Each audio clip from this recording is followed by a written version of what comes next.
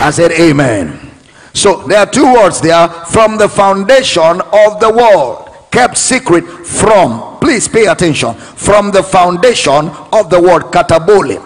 Katabole, that's the Greek word. From the foundation of the world, K A T A B O L E. The things that will be said were hidden from the foundation of the world.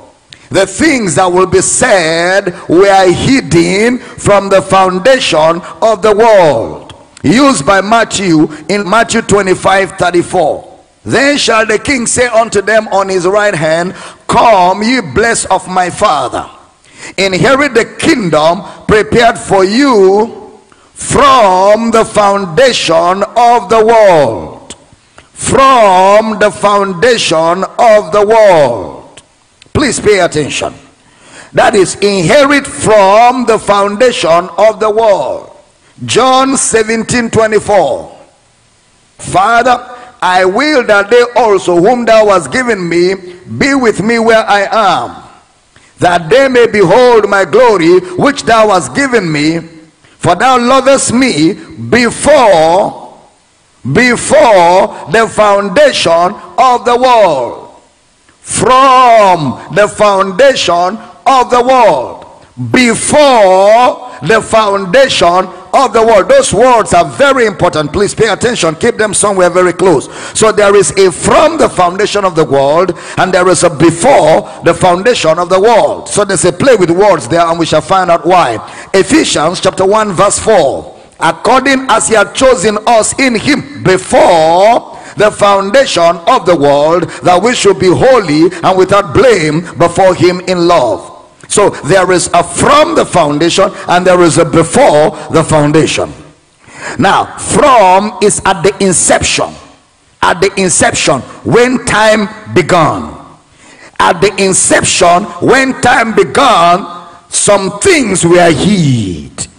Some things were hid. Hid from the foundation of the world. Matthew 13 he says, from the foundation of the world. Okay? So, please don't lose those details. The other one, before time began. Before the foundation. And then the one we're dealing with is from the foundation. So there are things that were hidden from when time began or from the inception of the world. And there are things hidden before the world began before the world began, before time. Hebrews chapter 4, verse 3.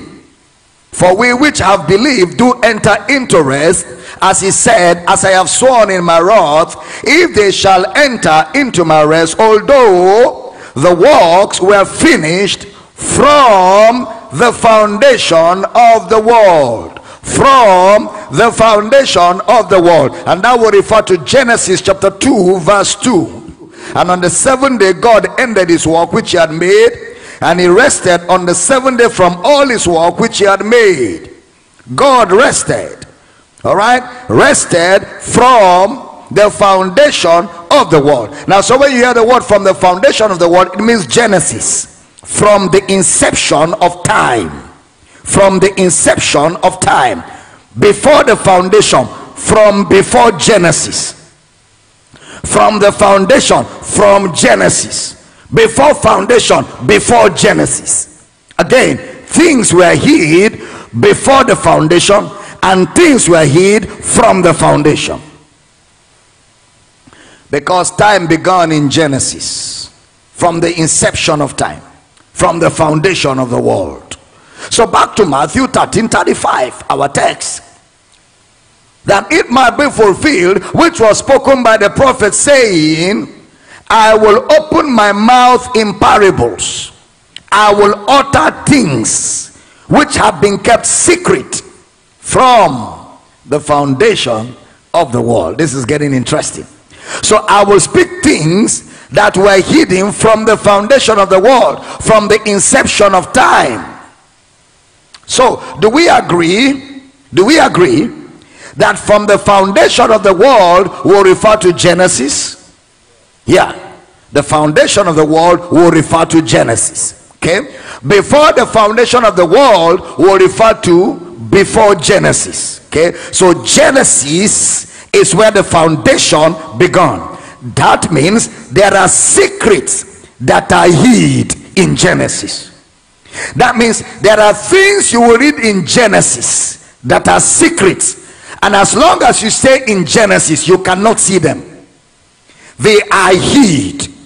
And what is hid remains hid until revealed. So when you read Genesis, there are things you will see in Genesis that might give you the impression that that's all it is. But Jesus tells us himself emphatically that there are things, truths hidden in the book of Genesis. For example, when he said God rested on the seventh day, God rested on the seventh day, it doesn't mean Sunday. The seventh day doesn't mean Sunday. So, question What will that rest be? On the sixth day, he created man. Question When did he create woman? If God created the man on the sixth day, question When did he create the woman? The same day. Male and female created he them and called their name Adam. Genesis 5 2. So the same day he created man, he created the woman. They were created the same time. Male and female created. So Adam was male and female in one because Adam was the progenitor of the human race. And God didn't create just male, He created male and female. Now, that's not even the point here. The point here now will be what do we mean by God rested on the seventh day? Seven day doesn't mean Sunday. So what will it mean? The seven day and the rest is not like Monday, Tuesday, Wednesday, Thursday, Friday, Saturday, Sunday. The seven day and the rest, seven day will be time or a dispensation. Because that's a truth hid in Genesis to be revealed. So it will be time or a dispensation. That is when God finished his work he allowed man to enter his rest. So a man enters God's rest by believing. When a man believes the gospel, he enters God's rest. Man enters God's rest by believing. But a man like Adam did not enter God's rest because Adam didn't believe the gospel. So Adam never entered God's rest. Hmm. So rest will be because Adam didn't believe. But in Genesis, that's not clear. Because the rest God was speaking about in Genesis was prophetic about salvation, the death of Christ. And we enter in his finished work. Rest will mean what God has done that you believe and you enter and enjoy. That's the meaning of rest. It's not like uh, Sunday or Saturday. You will not see this in Genesis. What you'll be seeing is parables because it is hidden. A day is a dispensation. Rest is used for faith. So they are comparisons. They are comparisons. But you know, Christians have picked Sunday as a day of rest. And then there are the Sabbatarians who say the day of rest is Saturday. And you know, Jesus made a mockery of them. Because the Sabbath people fight very hard trying to prove a point that if it is not Saturday, it is not a holy day. But Jesus made a mockery of that. He showed up on a day of Sabbath when they are supposed to be resting, and his disciples were busy working. And he was healing and um, performing miracles.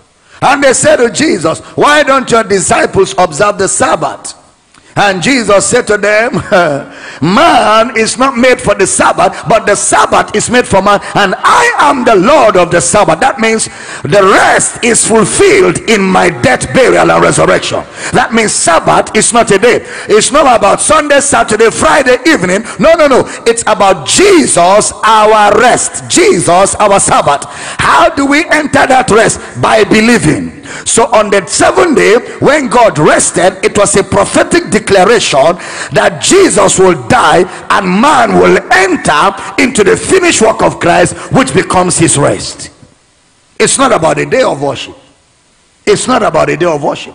It was a prophecy. It was a revelation that was hid from the foundation of the world. Are we together here? Oh yeah, it was revelation knowledge. Hid from the foundation of the world. That means the finished work of Christ was made for us and not us for it.